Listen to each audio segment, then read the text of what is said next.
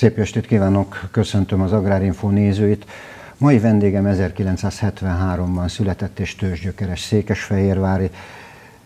Nagyapja állatorvos, édesapja, édesanyja orvos, és ugye az első munkája Mezőszilason volt állatorvosként, aztán Gárdonyban volt kerületi főállatorvos, majd Gombos Zoltán után megyei főállatorvos. Két gyermeke van, egy csodálatos családja, és ma pedig arról fogunk beszélgetni Szébert Gergelyel, hogy új elnököt választott a Magyar Állatorvosok Világszövetsége október 19-én Budapesten, és az új elnök Szibert Gergely. Tisztelettel köszöntelek. Én is tisztelettel köszöntöm és a nézőket is. a rövid Köszönöm. bevezető után. Egyéb iránt pedig, mint a Fejér megyei kormányhivatal főosztályvezetője, az élelmiszerlánc és földhivatali főosztály főosztályvezetője és megyei főállatorvos, de erről most nem beszélünk. Itt a nagyon fontos számunkra ez a tisztújítás, hiszen Kárpát-medence állatorvosi állatorvosai gyűjti egybe. Nos, hát beszéljünk erről a tisztújító közgyűlésről, hiszen ott volt a Magyarországos Állatorvos Egyesület, és ez az Országos Állatorvos Nap keretében zajlott ez a történet. Ki mindenki volt ott? Hát azt gondolom, hogy ez az elmúlt 22 évnek egy nagyon szép megkoronázása volt, ugyanis 22 éve alakult ez a világszervezet, és ezzel a dátummal még, ez a dátum azért is fontos az én életemben is, mert abban az évben kaptam meg a diplomámat, tehát tulajdonképpen az én állatorvosi pályafutásom és a Magyar Állatorvosok Világszervezete egyidős, és ott voltam az alapításkor, az alapító közgyűlésen, ahol dr. Szibert Istvánt választották meg elnöknek. Bocsánat, ez névrokonság természetesen. Így van, így van és ő volt az, aki 22 évig vezette ezt a világszervezetet, és alakította ki azt a mai arculatát, amelyel jelenleg is rendelkezik. Ezért is volt nagyon fontos, hogy ez a tisztújítás, ami már a hatodik volt ennek a világszervezetnek az életében, Budapesten legyen, és nem csak, hogy Budapesten, hanem valamennyi magyar anyanyelvű állatorvos alma az Állatorvos Tudományi Egyetemen. Tehát már a hely egyben predestinálta azt is, hogy az Állatorvos Tudományi Egyetem rektora, professzor Soktonyi Péter nyitotta meg az Országos Állatorvos Napot, ugyanis az a szervezet, amelynek ő az elnöke, a Magyarországos Állatorvos Egyesület minden évben megrendez egy ilyen Országos Állatorvos Napot, és idén minket kért föl társszervezőként, és ezért együtt szerveztük ezt az eseményt. Tehát ott volt ő, mint azt gondolom, hogy jelenleg a, a szinte az első számú állatorvos, legalábbis a tudományterületen mindenképpen. Természetesen részt vett a hatóság részéről a Nébih elnöke, de ott volt természetesen a leköszönő elnök, de határon túlról is érkeztek a tisztújításra, így például Kelemen Hunor, aki a romániai régiót képviselte, de ott volt Berényi József, aki a Magyar Közösség pártjának alelnöke Szlovákiában, és több régión túli nem feltétlenül állatorvos végzettségi, de mégis meghatározó ember, és gyűltünk össze, hogy új elnököt és új elnökséget válasszunk. Egy kicsit tekintsünk vissza a múltba. Ugye 22 esztendel, több mint két évtizede alakult meg a szervezet. Milyen célokkal? Mindenképpen nagyon sok célunk volt, amely természetesen fel is sorolható, de egy, egy szóval vagy egy rövid mondattal úgy tudnék erre válaszolni, hogy mind kulturális, mind szakmai alapon fogja össze a Kárpát-medencében élő magyar, magyar nyelvű állatorvosokat. Ennek letéteménye az, hogy minden évben két konferenciát szervezünk a Kárpát-medencében, tehát kimondottan nem Magyarországon, bár néha természetesen Magyarországra is megérkezünk, és ott egyetlen előírás van, hogy a konferencia nyelvének magyarnak kell lennie, természetesen a, az adott ország nyelvére lefordítjuk szinkrontolmáccsal, de a konferencia nyelve magyar. Ugye tekintsünk vissza a múltba, 22 évvel ezelőtt ki mindenkinek volt lehetőség, hogy csatlakozzon ehhez a szervezethez? Igazából annyi előírás van, hogy magát magyarnak valló és állatorvos végzettséggel rendelkező ember csatlakozhatott, és jelenleg is csatlakozhat hozzánk. Egyik újítás lesz, ami már fölmerült problémaként, hogy mi legyen a hallgatókkal. Ugyanis nagyon nagy a, a, a fiatal e, csapat részve, részvételi szándéka ezeken a konferenciákon. E, például most is e, 91-en voltak Magyarországról, és több mint 37-en voltak Erdélyből hallgatók, de ők csak társult tagjai tudnak lenni jelenleg a, a világszervezetnek, ezért azt gondolom, hogy a közeljövőben összehívandó küldött közgyűlésünknek egyik feladata lesz ezt rendezni, hogy a hallgatók is teljes jogú tagként vehessenek eh, részt a munkában. Tehát aki magát magyarnak valló, és vagy az állatorvos, bármelyik állatorvos tudományi egyetemen a Kárpát-medence szerte tanul, vagy végzett állatorvos, az csatlakozhat hozzánk, mint teljes jogutag, és bárki, aki ezt a szervezetet seg- szeretné segíteni, őt pedig pártolótagként felvesszük. Tehát a lényeg a magyarságuk.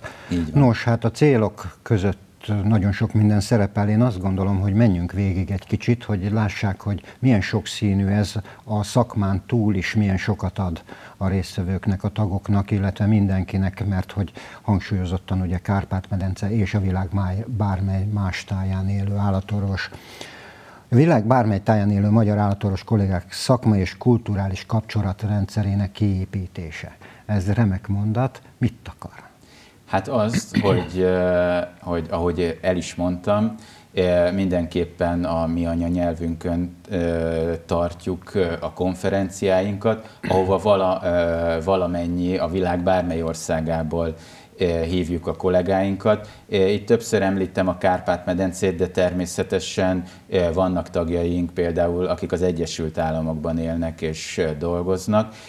Őket is mindig szívesen látjuk. Hát azt nem tudjuk megígérni, hogy elvisszük oda a konferenciánkat, mert azért ekkora látogatottságot nehezen tudnánk ott biztosítani, de őket pedig szívesen látjuk.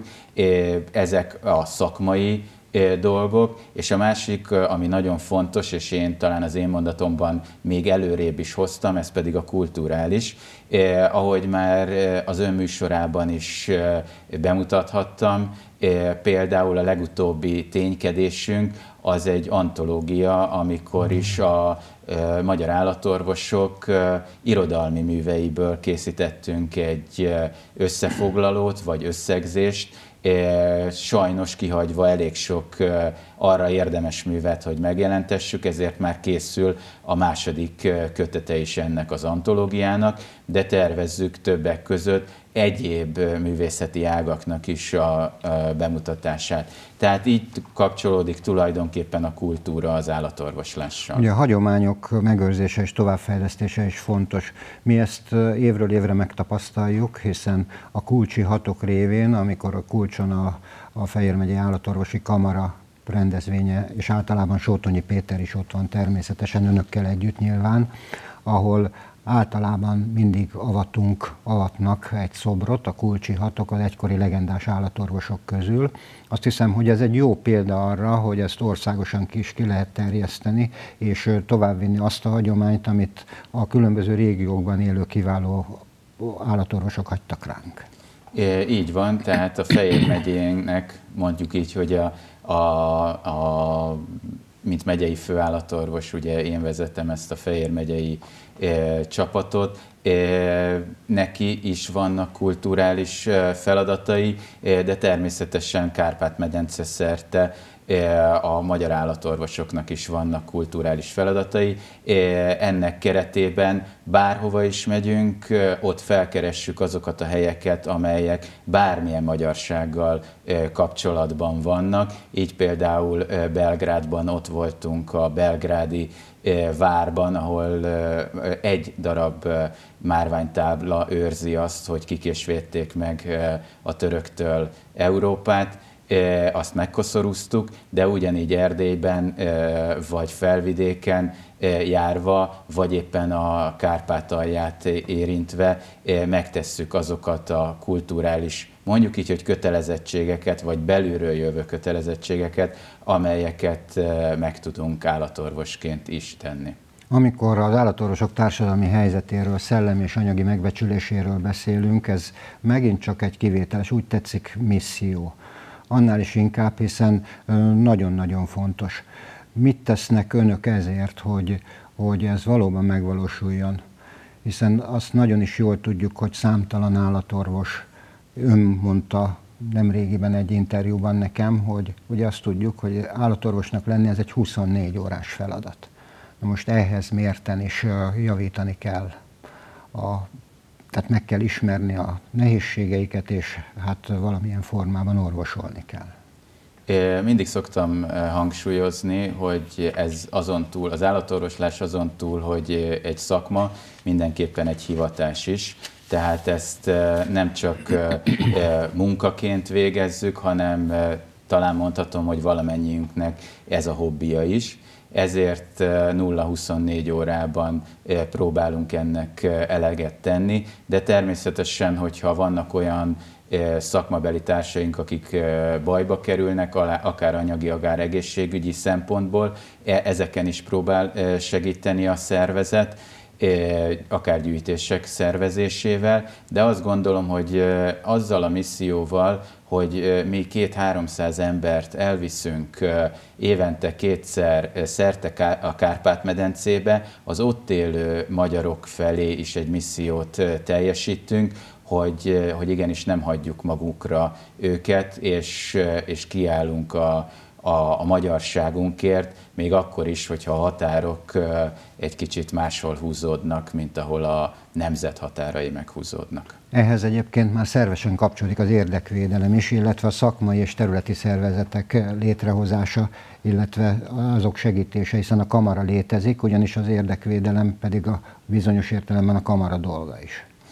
Természetesen valamennyi országnak megvan a szakmai vagy állatorvosi kamarája, de ott főleg a, a más rég, tehát a Magyarországon kívüli régiókba csak néhány magyar állatorvos tudja hallatni a hangját. Viszont, hogyha a Magyar Állatorvosok Világszervezete egy egységként jelenik meg, akkor annak biztos, hogy hatása van. Ilyen volt ez különben a legutóbbi kárpátaljai konferenciánkon tapasztalhattuk, hogy, hogy híre ment annak, hogy mi oda megyünk, és ennek hatására például, ami eléggé elítélendő, de a, az ukrán vezetés az állami állatorvoslásban dolgozó magyar állatorvosoknak lehetetlenné tette, hogy részt vegyenek a konferenciánkon, viszont ezután a Magyar Külügyminisztérium eh, pedig eh, ez, ez ellen rosszallását fejezte ki. Tehát én azt gondolom, hogy a Magyar Állatorvosok Világszervezetének eh, nagyobb a respektje, mint csak kimondottan az állatorvosok körében. Fontos célként jelölték meg, hogy a világon bárhol élő magyar, áll, magyar magukat magyarnak valló állatorvosok név és címjegyzékét összeállítsák. Erre miért van szükség? Hát azért van szükség, bár ugye a GDPR jelenlegi szabályai szerint ennek közlése nagyon nehéz, de hogy megtalálják egymást az állatorvosok. Akár egy családi kirándulás, kirándulás során, ha valaki Erdélybe valami balesetet szenved, akkor abban biztos lehet, hogyha állatorvosként bekopog az ottani állatorvoshoz, ő segíteni fogja. És hogyha ezt valamilyen módon természetesen a jogszabályoknak megfelelően is meg tudjuk osztani egymás között, akkor nagyon könnyen segíthetik egymást egyéb más területen is az állatorvosok, mint kimondottan csak a szakmai területet alapul véve. Essék szó a képzésről, az alapképzésről. Nyilván azt tudjuk, hogy az Állatorvosi Egyetem messze földön, az úgy tetszik Európában híres Sotonyi professzorral számtalanszor beszélgettünk már erről, ugyanakkor a posztgraduális képzés területi lebontása az még nem egységes. Ebben hogyan kívánnak előrelépni? Hát mindenképpen a Magyar Állatorvosok Világszervezetének van egy ezen feladatokért felelős tisztségviselője, aki folyamatosan tartja valamennyi országban a kapcsolatot azokkal az állatorvostudományi egyetemekkel, ahol van magyar hallgatók is járnak, és egyrészt a magyar hallgatóknak a továbbképzéséről mondjuk az anyaországban gondoskodik, de például egy olyan gyakornoki rendszer is van ma Magyarországon, amikor különböző területekre, helyszínekre juttatjuk el a külhoni magyar vagy végzett, vagy végzéshez közel álló állatorvostan hallgatókat. Ugye abban egyetérthetünk, hogy a diploma átvételével nem ér véget a képzés, sőt, hiszen akkor kezdődik igazából meg a gyakorlati szakmai munka, és ebben is nagyon fontos szerep juthat az önök szervezetének. Így van, egy, egy kapocs lehetünk a, a Külhon és Magyarország között. A Magyar Állatorvos Tudományi Egyetemnek is természetesen érdeke az, hogy hogy főleg a továbbképzésekben akár a Kárpát-medence egészéről kapjon hallgatókat. Ennek tükrében mennyit változott egy pályakezdő állatorvos élete? Mondjuk vegyük a 22 évvel ezelőtti időszakot, amikor ön kezdte. Hát nagyon érdekes változások voltak. Ugye amikor én még végeztem, akkor volt egy éves kötelező gyakornoki idő, amely később eltörlésre került, bár szakmailag nagyon megalapozott volt, mert ezen egy év alatt tulajdonképpen a szakma valamennyi területén végig lehetett menni. Ez eltörlésre került, viszont a mai napokban, hogy így mondjam, bevezetésre került egy plusz fél év, amikor tulajdonképpen bár még nem végzett állatorvosként, hanem úgymond 11. fél évesként a hallgatók körbejárhatják azokat a területeket, amivel később foglalkozni szeretnének, és tudomásom szerint lesz majd egy 12. fél év is, legalábbis beszélnek már ennek kialakításáról, tehát tulajdonképpen egy kicsit visszavezetődik az, ami az én végzésem kor meglévő gyakorlat volt, más keretek között, és természetesen ez a lehetőség valamennyi magyar anyanyelvű végzett vagy végzéshez közeli hallgatónak majd rendelkezésére áll. Ugye a fejlődés tetten érhető, itt a szándékokból látszik, hogy ez megvalósítható, ugyanakkor az is nagyon fontos, hogy miként érhető el írásos formában, elektronikus formában a különböző pályázatok, tehát hol tart a szaksajtó, hol tartanak az információs anyagok továbbadásában. Hát egyrészt nagyon fontos feladatunk, hogy a Magyar Állatorvosok lapját, ami az egyetlen megfelelő impactfaktorral rendelkező tudományos szaklap ma Magyarországon állatorvosi szempontból. Ebből a világszervezet jó néhány példányt vásárol, és eljuttatja azokra az egyetemekre, illetve kollégáknak, akik ezt mondjuk anyagi szempontok miatt nem tehetnék meg de természetesen lehetőség van arra, hogy a honlapon keresztül az ilyen szaksajtónak a linkjei megjelenjenek, és arra fölmenve bárki utána tud nézni az aktuális szakmai álláspontoknak. Ha valaki a Fejér megyei újságírók közül tudja, az egyik biztos, hogy én vagyok, hogy rendkívül határozott elképzelésekkel rendelkezik, bármely szakágat nézzük, tehát a munkája során, a munkáján túl, ha úgy tetszik, főállatorvosként, aztán élelmiszerbiztonsági főosztályvezetőként egyaránt. Most ennek tükrében milyen gondolatokkal kezdett neki ennek a munkának, hiszen itt ha úgy tetszik, a világ magyar állatorvosait kell, hogy képviselje és irányítani, ugyanakkor meghatározni a célokat, azokat végrehajtani, az egy rendkívül komoly és megtisztelő feladat. Hát ahogy az első mondatomban mondtam, ez egy óriási megtiszteltetés, hogy, eh, hogy engem választottak eh, elnöknek, és eh, természetesen ennek meg is megpróbálok megfelelni. A célok szerintem nagyon szépen megfogalmazottak 22 évvel ezelőtt. Egy-két dolgot lehet, hogy pontosítani vagy kiegészíteni kell, de a célokban nagyon nagy változást én nem szeretnék, és nem is hiszem, hogy nagy igény lenne rá. Az biztos, hogy az életünk megváltozott Az állatorvosok is kicsit úgy érzem, hogy befelé fordulóbbak lettek. Látom ezt különben, csak ha Fejér megyét nézem, a kulcsi rendezvényen is az átlag életkor egy kicsit megemelkedett, tehát mindenképpen legfontosabbnak tartom a fiatal generációt bevonni azokba a dolgokba, amit mi már egyrészt megalapítottunk, másrészt végigjártunk, tehát nekik csak be kéne kapcsolódni. A hallgatósággal mindenképpen nagyon jó a kapcsolatom. Egy dolgon kell erősíteni, hogy a hallgatói lét megszűnésével ne vesszenek el ezek a tagjaink, hanem automatikusan tevőleg is részt akarjanak venni ebben a világszervezetben. És hogyha ezzel megalapozódna a jövőnk, azt gondolom, hogy a múltunk az, az nagyon szilárd alapokon van, a jövőt bízom benne, hogy biztosított, és akkor nekem már csak annyi a feladatom, hogy a jelent jól menedzselve fenntartsam ennek a világszervezetnek az életben maradását. Egy búcsú mondat, amit idézek, mert hogy nagyon fontos gondolatsor. A Magyar Állatorvosok Világszervezet a felsorolt célokat országhatárokra és állampolgárságra való tekintet nélkül a meglévő állatorvos szervezetek és intézmények bevonásával és támogatásával, valamint a mindenkori politikai hatalomtól függetlenül igyekszik megvalósítani. Azt mondom, hogy ez, egy, ez tulajdonképpen lefedi mindazt, amitről itt beszéltünk.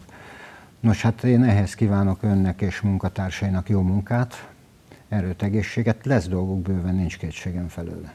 Köszönöm szépen, és mindent megteszünk ennek érdekében. Köszönöm szépen. Kedves nézőink, az Agrárinfot látták. Vendégem Szibert Gergely volt, a Magyar Állatorvosok Világszövetségnek újdonsült elnöke. Köszönöm megtisztelő figyelmüket, maradjanak továbbra is velünk. Viszontlátásra!